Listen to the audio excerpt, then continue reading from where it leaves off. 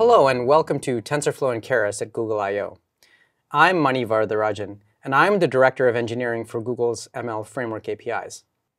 In this session, we're going to take a quick look at some of the many improvements and additions coming your way this year in TensorFlow and the high-level modeling library Keras. Here's what we'll cover today. First, we'll show you how Keras CV and Keras NLP give you access to pre-trained, state-of-the-art models in just a few lines of code, so you can innovate and explore freely. Then we'll talk about dTensor. Using dTensor, you can easily scale up your models and train them efficiently by combining different parallelism techniques. We'll also share JAX to TF, an exciting new feature that allows the high-performance JAX framework to leverage the incredibly powerful and diverse TensorFlow ecosystem. And finally, we'll look ahead to a preview of our new quantization API, which will enable you to make your models more cost and resource efficient without compromising on accuracy. Now, why are each of these so important? Well, let's take a look at the landscape. The world of machine learning is changing faster than ever. Over the last few years, we've seen models go from hundreds of millions to hundreds of billions of parameters. And as models have gotten bigger, training and deploying them has gotten more complex and more expensive. Models are also deployed in more places. Ideas that once started in research are now used in production on billions of mobile devices and beyond. And TensorFlow is where so much of it happens. We are the largest ML development community in the world. We take immense pride in this. We also want to continually make our ecosystem better for everyone.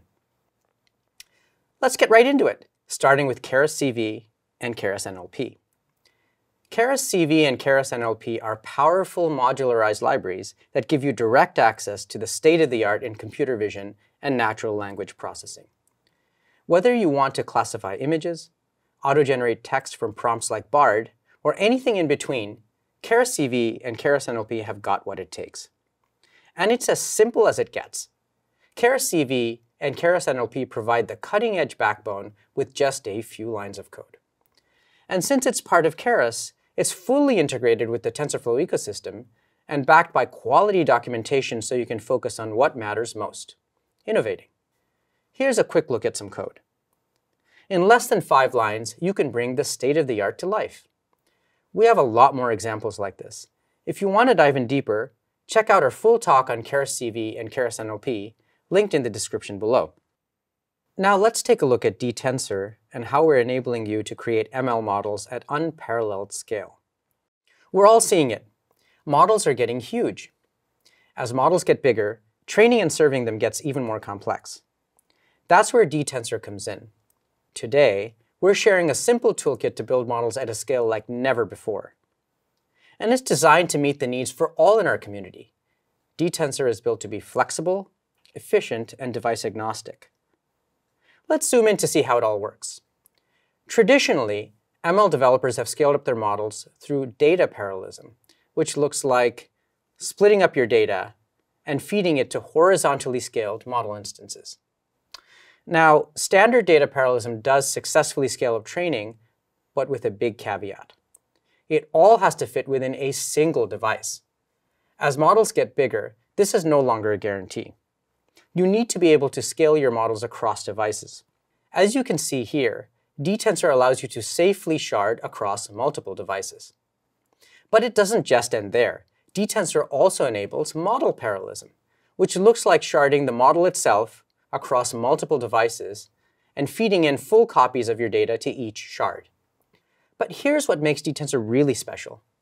With dTensor, you can parallelize your data and your model all in one place. The principles behind sharding your model for use with data replicas or sharding your data for use with modeled replicas all still work exactly the same way and come together seamlessly under one roof through the power of dTensor. All you have to do is take any model as you've already written it and add just a few lines above to set up an appropriate config and initialize the dTensor context. That's it. If you attempted traditional data parallelism for the model in this example, it would have errored outright the model weights are just too big for a single device. But with dTensor, this isn't a problem. You don't have to worry about rewriting your model or writing different code for different parallelism strategies. whether you're using one device or 100, dTensor's got you covered. And it's only getting better. Performance today is already on par with state-of-the-art industry benchmarks, and we already have improvements in the works to surpass those baselines. We also want to give you a quick preview of what lies ahead. dTensor will be fully integrated with key interfaces like TF Distribute and Keras as a whole, with one entry point regardless of device and a number of quality of life features. If you want to learn more, visit tensorflow.org or check out the integration guides on keras.io. Another area we'll be covering today is what we're doing about supporting our research community better, especially with the emergence of JAX. Many of the ML advancements that are now household names had their beginnings in research. This includes the latest models in the news, like BARD and ChatGPT. These architectures came from Google's own published research. JAX has emerged as a trusted tool for much of the research behind these models, but productionizing research is hard. And so we've been putting a lot of thought into how we can bring the production power of TensorFlow's ecosystem to JAX. To that end, we're very excited to introduce JAX to TF, which provides a clear pathway from JAX to the TensorFlow ecosystem. JAX to TF is a simple, lightweight API, and there's a lot you can do with it. For one, you can take JAX to TF to take a JAX model and deploy it either on a server using TF serving or on device using TF Lite. You can also use JAX to TF for fine-tuning by taking a pre-trained JAX model into TensorFlow and continue training it from there. You can even fuse models together by taking a JAX model, merging it with additional layers and other components, and then train them as one model in TensorFlow. This is a very powerful capability, so let's see how it works. At a high level, to bring a JAX model into TensorFlow, you could do something like the following. First, you would define a model in JAX.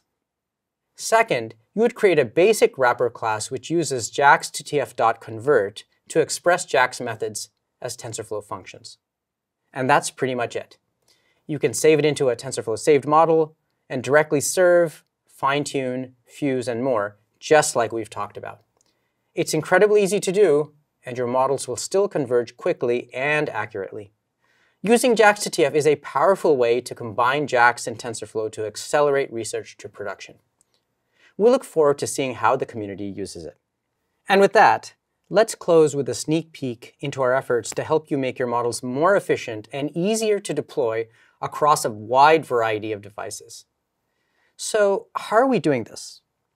With the TensorFlow Quantization API, which will be available later this year.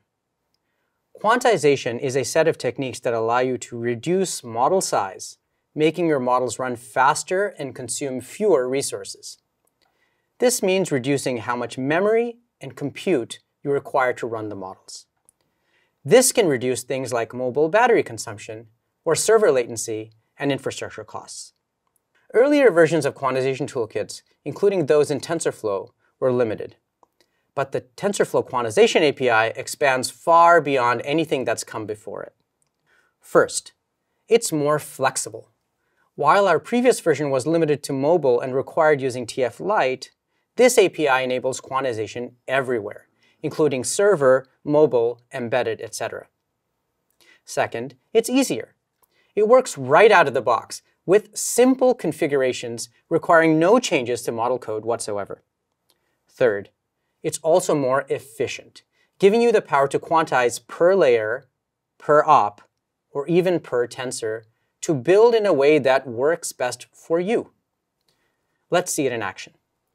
In just a few simple lines, we can prepare the model for quantization and train or save it within a quantization context.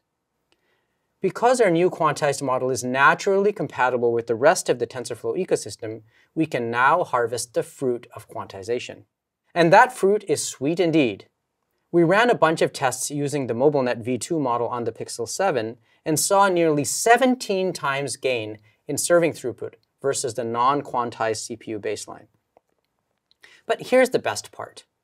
All that benefit comes without any noticeable negative impact on accuracy. And that's just the beginning. The TF quantization API isn't public just yet, but will be available soon. And we'll continue to evolve it to provide even more benefits. And that's a wrap. Today, we've shown you just a few of the key things we've been working on, and there's a lot more to come. We can't wait to see what you will build, and we're always inspired by our community's enduring enthusiasm and continued partnership. Thanks for stopping by.